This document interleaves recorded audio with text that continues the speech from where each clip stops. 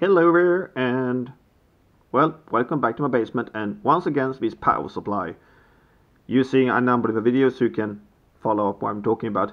Um, Bob had a question and I gave him an answer. I don't know if you like my answer but because it gives you more work.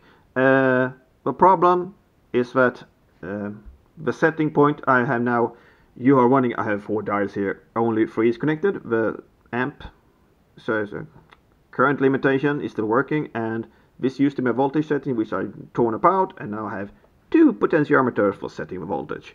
And why do I want that? Well the problem is when you touch this one which is working as the original one here now uh, it is quite uh, yeah sensitive very much coarse or rough I have 13.3 volts and I want a slightly bit more voltage and if I touch it it's very easy to overshoot and very hard to if we want for some reason a very precise voltage it's not easy to set with one very rough setting system. Um, how can you refine that? Well there are the one version or the way Bob wanted to do. That's a multi-turn potentiometer. You get further distance to turn to get a better that's one way. Uh, one way that's also sometimes forgotten about is uh, use a bigger knob. Size matters. Um, a small knob like this one is very yeah you move it and you move it a lot of degrees or basically you turn a lot. With a bigger knob you get better precision. That's one way to do it. But there's also the, my my stupid way which means you're gonna need to drill another hole pop. Uh, that's a two potentiometer setup. One coarse setting and one fine setting. Uh, let's just first take a look at how it works. I'm gonna test and try to get it around 10 volts like that quite easy but then this one here I can now turn and I can make it go down to let's see 9.6 volts and I can turn it up to 10.6 volt. Now maybe you can see what's between the thing uh, 9.6 to 10.6 that's 1 volt or 1 tenth of 10 volt because the difference between the potentiometer is 1 tenth which is 100k and a 10k potentiometer. I'm going to talk about values a bit later. Let's turn it to the middle again because this setup has a drawback we're going to show you now. Uh, sorry, this one. If I turn it up to, let's say, approximately 15 volts, oh, I'm good. 15 volts. If I turn it down, the fine adjustments, I end up at 14.4. I was at 15, and this is a tenth, so it should be 1.5 volt up that's uh, 15.9 if it on right I hit 15.8 and I'm gonna turn this down. Let's try at lower voltage something like uh, 6 volt or something like that. Da, da, da. oh close. Uh, 6 volt main setting so the fine adjustment should be 1 tenth of 6 volt, that's 0.6 volts, so that's plus 0.3 and minus 0.3, so you should hit uh, 5.7. I hit 5.73 and on the right way I should be somewhere around 6.3 volts. Yeah, it works.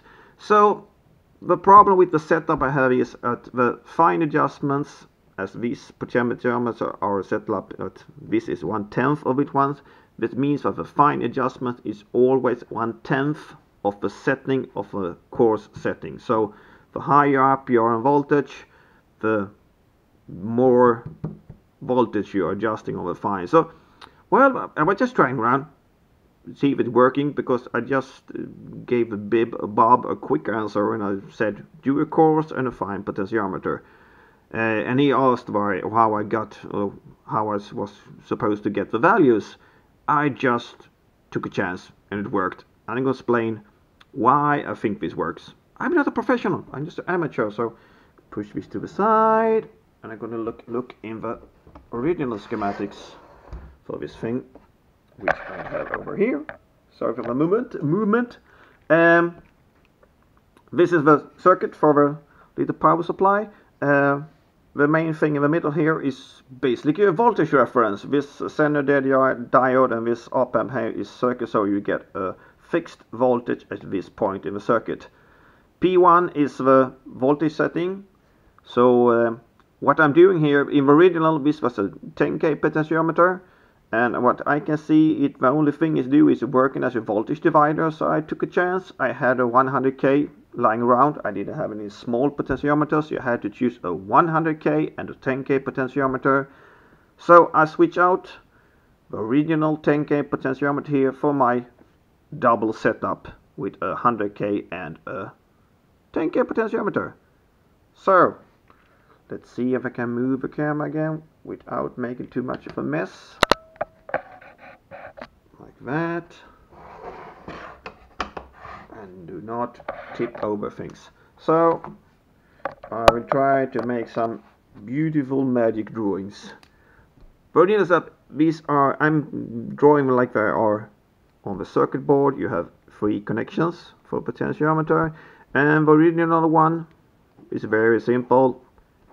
Bam, bam, and that's your 10k potentiometer. Nothing, nothing strange about that. That's the original one. My solution, this coarse fine setup is like this. We start at the left side. We go to my little 100k potentiometer and the wipe on that one still goes back. And now comes the difference. I have my fine potentiometer over here. The 10K, I'm going to draw it later. And I have a further connection here, which then goes over here. Sorry for the bad drawings. And now the wiper on that one is connected to this side. So I get the same. If I connect it on the side, I get backwards work. Uh, the knobs are working backwards. So this is nice. So this is 100k and this is a 10k potentiometer. So what it does is basically I use this so the problem is that the total resistance course of this one will be variable from 100k to 110k but that what I can see doesn't affect the circuit so I'm just manipulating the voltage divider. So the thing here is that the difference between width is one tenth 1 through 10 that means that the fine adjustment will always be one tenth of the set set point of this one not super precise but if you want to choose the values that's how I did it and I oh, maybe and yeah, I didn't have it much to choose from so I had to take what I had in my box so this is my version doing a coarse and fine setup for you want to receive a PCB I'm going to turn it off so I didn't lie in my circuit. Here it is. As you can see, I have my 100k potentiometer connected to the left one, uh, middle one, and then I have a wire over to the 10k. I have a wiper connection which shorts out part of a 10k potentiometer, and then the third connection.